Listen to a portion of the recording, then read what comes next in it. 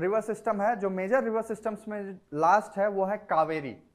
Kaveri system जो है, वो राइज करता है Tala Kaveri in the Brahmagiri range याद रखना है, ब्रह्मगिरी रेंज ये कहा है? ये आपका है वेस्टर्न घाट के कोडागु डिस्ट्रिक्ट में। कर्नाटक में कोडागु डिस्ट्रिक्ट है वेस्टर्न घाट्स में ब्रह्मगिरी रेंज है, वहाँ से कावेरी नदी ओरिजिनेट करती है। Flows towards west and drain into Bay of Bengal ठीक है? बे ऑफ़ बंगाल में ये जाके अपना पानी ड्रेन कर देती है और इसका लेंथ जो है वो 805 किलोमीटर है। अब इंपॉर्टेंट सिटीज़ अगर देखें तो तिरुचिरापल्ली और इरोड है। ये दोनों नदी जो, ये दोनों सिटीज़ जो हैं, ये आपके तमिलनाडु में हैं। अब फ्लो कहाँ कहाँ से करती है? तो कर्नाटका और तमिलनाडु। कावेरी रिवर सिस्टम जो है, आए दिन न्यूज़ में रहता है, वो ड्यू टू वाटर डिस्प्यूट ठीक है? वाटर डिस्प्यूट है कर्नाटक और तमिलनाडु के बीच में।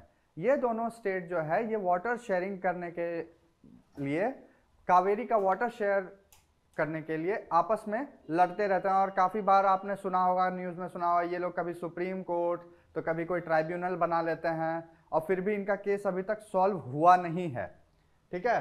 तो खैर वो तो एक्स्ट्रा नॉलेज था, लेकिन आपको जो जानकारी रखनी है कि इन दो स्टेट से होकर वो गुजरती है।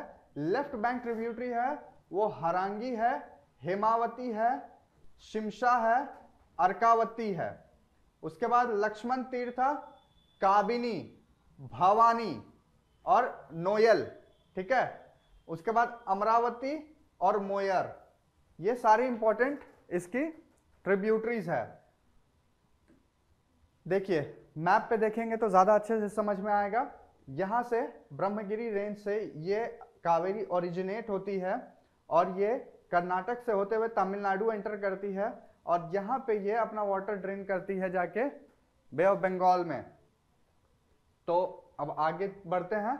एक और रिवर है जो कि काफ़ी फ़ेमस है और न्यूज़ में भी रहता है। फ़ेमस है क्योंकि बहुत बड़ी रिवर नहीं है ये। पेरियार रिवर सिस्टम जो है, ये केरला की सबसे लंबी नदी है। और ये फ़ेमस क्यों है? क्योंकि एक तो पेरियार वाइल्ड लाइफ सेंचुरी इसके यहाँ से होके गुजरता है उसी से होके ये रिवर गुजरती है। दूसरी कि इडुक्की डैम और मुल्ला पेरियार डैम, ठीक है? जो कि अभी पॉइंट ऑफ़ कंटेस्टेशन है इसमें, केरला और तमिलनाडु के बीच में। वो भी इसी रिवर पे है। आए दिन काफ़ी ये रिवर जो है वो न्यूज़ में रहती है। तो इसीलिए इसके बारे में जान लेना चाहिए हम लोगों को। तो लॉन्गेस्ट रिवर ऑफ़ केरला है।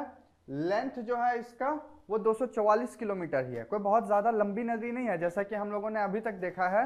नर्मदा तपी गोदावरी कृष्णा कावेरी आ, ऐसी नदियाँ जिनका की लेंथ 700, 800, 900, हज़ार ऐसे करके था। उसके कंपैरिजन में यह नदी बहुत छोटी है। इसका सोर्स कहाँ है? तो ये वेस्टर्न घाट में ये ओरिजिनेट कर जाती है और drains into Arabian sea Narmada और तपी के तरह ही ये ईस्ट में अपना वाटर नहीं ड्रेन करके वेस्ट में जाती है फ्लो करती है और अरेबियन सी से जाके मिलती है यह नदी. इंपॉर्टेंट सिटीज़ की अगर हम बात करें तो कोची और मलियत्तूर. ये दो सिटीज़ हैं जो कि इस रिवर के बैंक पे हैं. अब इडुक्की डैम और Mulla Periyar dam is situated on this river Idukki dam और मुल्ला पेरियार, ये दोनों काफ़ी न्यूज़ में रहते हैं। अभी रिसेंट में कुछ साल पहले, शायद 2017-18 में, मैं एग्जैक्ट ईयर मुझे याद नहीं है, लेकिन अभी दो तीन साल पहले केरला में भयानक फ्लड आ गया था। तो वो फ्लड इसी डैम के ओवरफ्लो करने से आया था और इसी रिवर में पानी जो है ओवरफ्लो कर गया था, जिस कारण से पूरा का पूरा केरला में डिवास्टेटिंग फ्लड आ गया था।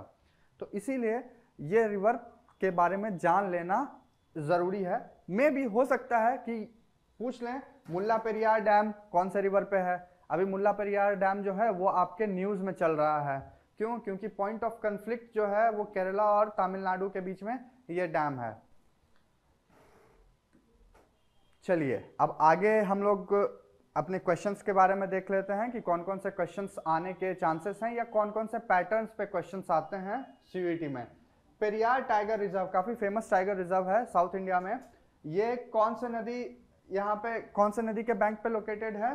तो इसमें से देखिए, आप देख सकते हैं Periyar river Kaveri river Pambar river none of the above तो नाम से ही पता चल रहा है कि ये पेरियार रिवर के बैंक पे है। Wainganga and Penganga are tributaries of which river तो अगर आप इसमें देखेगा तो इसका करेक्ट आंसर है गोदावरी। ठीक है? अब which of the following river flows through rift valley rift valley से मैंने आपको बताया था कि तीन रिवर फ्लो करती है। नर्मदा तपी और दामोदर। ये दामोदर रिवर सिस्टम जो है, ये आपका झारखंड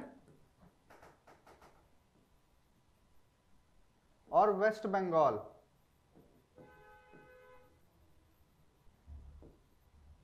इन दो स्टेट से होकर गुजरता है and it is a tributary of tributary of Hooghly. ठीक है? ट्रिब्यूटरी ऑफ़ हुगली है और इसको सौरो ऑफ़ बंगाल भी कहा जाता था, ठीक है? जैसे आप लोग पढ़ते हैं कि सौरो ऑफ़ बिहार क्या है? Kosi. Sorrow of China Hwang Ho तो उसी तरह सौरो ऑफ़ बंगाल जो है, हम लोग दामोदर को कहते थे। अब नहीं, क्यों? क्योंकि दामोदर पे multi, Damodar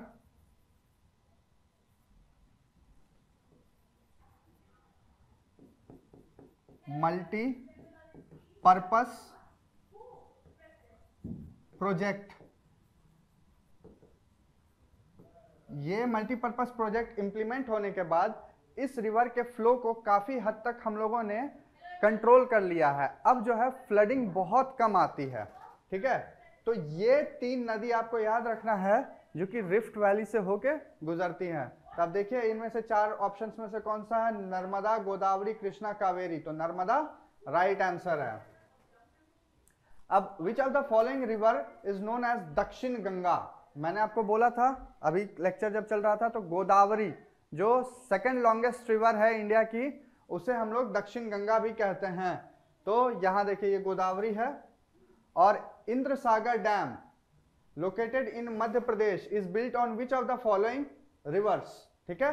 तो अगर हम देखते हैं, यमुना, चंबल, नर्मदा और कृष्णा तो इसमें से जो है वो राइट आंसर है आपका चंबल, ठीक है? नेक्स्ट क्वेश्चन पे अगर देखें which of the following river is the home for fresh water dolphin fresh water dolphin के बारे में अगर हम बात करें तो ये जो है, ये गंगा ब्रह्मपुत्रा रिवर बेसिन में मिलती है और इंडिया की aquatic animal national aquatic animal जैसे नेशनल एनिमल टाइगर है, वैसे नेशनल एक्वेटिक एनिमल में फ्रेश वाटर डॉल्फिन जिसको गैंजेटिक डॉल्फिन भी कहते हैं, वो है। तो ये कहाँ मिलती है? तो गंगा में मिलती है ज़्यादातर। ब्रह्मपुत्रा में भी थी, होती थी, लेकिन अब जो है ये बहुत कम पाई जाती है। वैसे गंगा में ये अभी भी है, भागलपुर। ये एरिया है, आपका ये एक डिस्ट्रिक्ट है बिहार में। यहाँ पे जो गंगा नदी फ्लो करती है तो इस पूरे एरिया को भागलपुर में जो गंगा नदी का स्ट्रेच है उस पूरे एरिया को हम लोगों ने नेशनल गैंजेटिक डॉल्फिन पार्क घोषित कर रखा है। जैसे नेशनल पार्क्स होता है टाइगर रिजर्व्स होते हैं, वैसे ही डॉल्फिन पार्क है यहाँ भागलपुर में। तो ये ध्यान रखना है। Which of the following river Ajmer is situated on which of the following river Ajmer is situated तो देखिए, गंगा पे तो है नहीं, तीस्ता पे तो बिल्कुल भी नहीं है, ब्यास पे भी नहीं है, और Luni is the correct answer तो चलिए इसी के साथ जो है, हम लोग अपने इस लेक्चर को अभी फ़िलहाल यहीं पे विराम देते हैं। क्वेश्चंस जो है, वो इसी टाइप के आपके पूछे जाएँगे। इसके लिए आप एकदम निश्चिंत रहिए। और एग्ज़ाम में ज़्यादा समय नहीं है तो पूरा जी जान से अपना मेहनत कीजिए और जितना ज़्यादा हो सके रिवीजन पे ध्यान दीजिए, क्योंकि एट लास्ट रिवीजन ही है जो आपको हेल्प करेगा। जीके के सारे इंफॉर्मेशन और फैक्ट्स को कंसोलिडेट रखने में और एग्ज़ाम वाले दिन वहाँ पे डिलीवर करने में। तो आप लोग अच्छे से रहिएगा, अपना ध्यान रखिएगा। इस चैनल को लाइक फॉलो और सब्सक्राइब कीजिए। Till then take care stay safe thank you